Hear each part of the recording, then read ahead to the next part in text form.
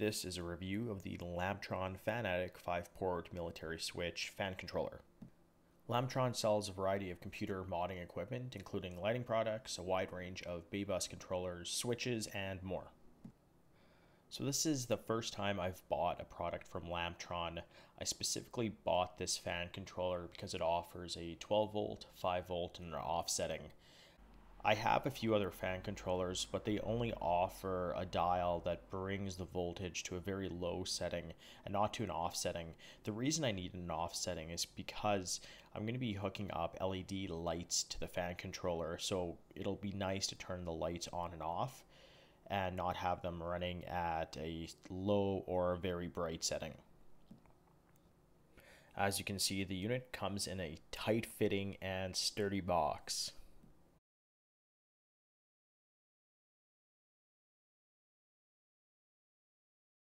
So the fan controller comes with five three pin extension cables.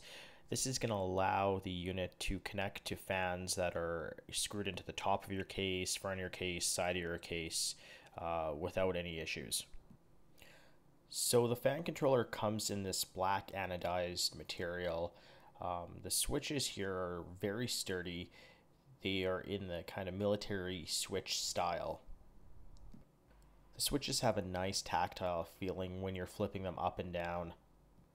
Turning the device around, you can see the five three pin headers for the extension cables and a four pin Molex connector for power. Also, when you're switching between the 12 volt, 5 volt, and offsetting, the lights on the front are actually switched from a red to a blue, which I'll show later. In addition to the black anodized look, the fan controller has a kind of a mesh in the front here. Um, it's kind of a cool look and one that'll probably fit with a lot of the cases that are popular right now.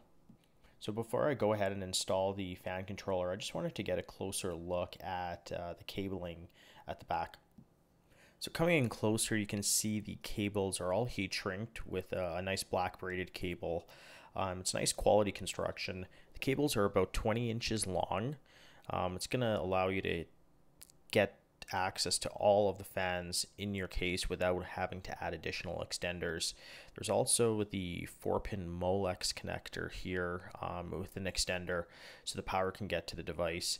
The device itself is pretty shallow, so having these extenders is a nice thing. I have the fan controller installed in my case now. I have two intake fans on the front of my case hooked up and an LED light. So I'm going to go ahead and pop off the front of the case so you can see the fans when I'm turning them on. So the first fan I'm going to turn on here, I'll start at 5 volts. You can see the blue LED light comes on. And I'll start the second fan here at 12 volts.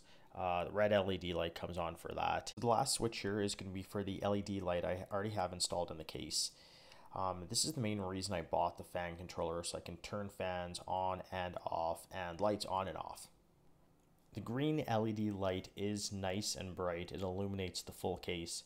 Um, it's almost too bright at times, so it's nice that I can turn it off.